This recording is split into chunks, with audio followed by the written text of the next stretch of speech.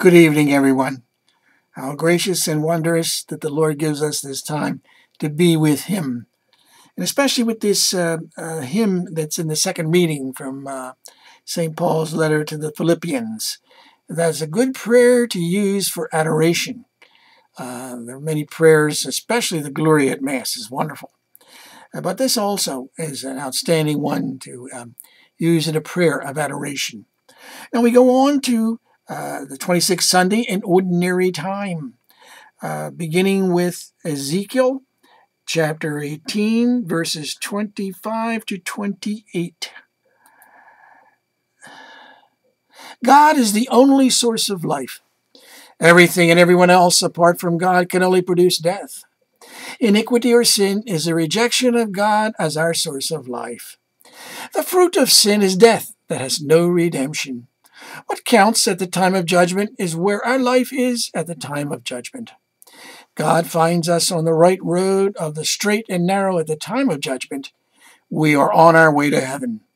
On the other hand, all the past good we have done will not cancel out the present state of sin that we are in.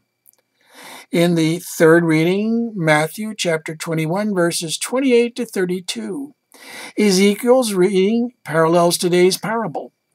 Yesterday's sin is wiped away by today's change of heart.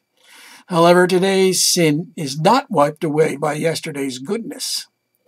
The yes that the chief priest and the elders said to God yesterday does not, for, does not gain for them forgiveness for today's rejection of Jesus. On the other hand, the tax collectors and prostitutes, who were sinners yesterday, but today accept and follow Jesus, are on their way to heaven. The old saying is that we are sinners on our way to becoming saints, not saints on our way to becoming sinners. We can never become complacent on our way to heaven. This world, the devil, and some of our own natural tendencies can easily put us back on the wrong road. Then going on to the second reading, do nothing out of selfishness or out of vainglory.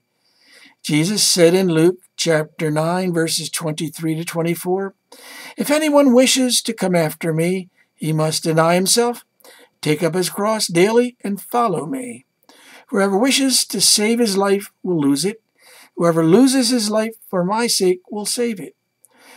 Original sin embedded in our human nature calls us to grab everything for ourselves before others get it. This life lived on the basis of the survival instinct, where all our lives are all about oneself and those one considers part of oneself. Jesus demands that we live in him and he lives in us. That's from John chapter 14, verse 4. Or that we lose our grip on our daily lives so that we live this life, life giving, in his life giving strength and his will. Paul says that Jesus emptied himself of living only in a divine state in heaven, but humbled himself by taking on human nature.